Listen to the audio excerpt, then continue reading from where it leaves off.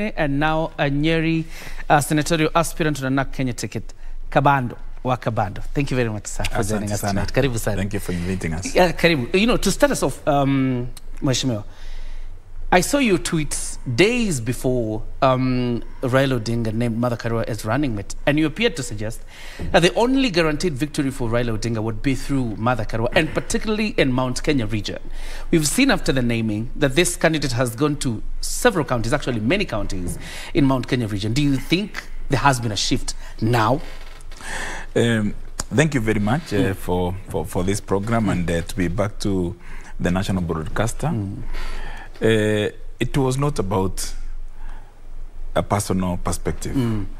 It was uh, a question of a very wide instinct among very many people who are very concerned, who are objective and uh, realistic.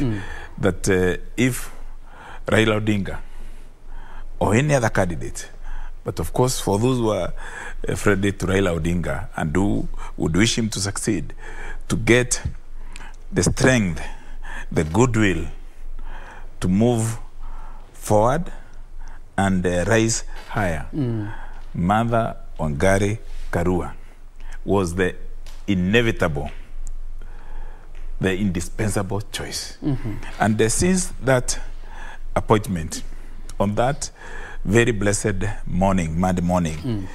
uh, May 16th, as we said, the mountain shone and the lake freshened. Mm.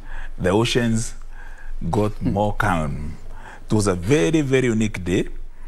Uh, if I were to paraphrase the late Kijana Amalwa, who spoke just a few meters from this broadcaster mm. here to Norfolk, receiving uh, defectors in a 2002.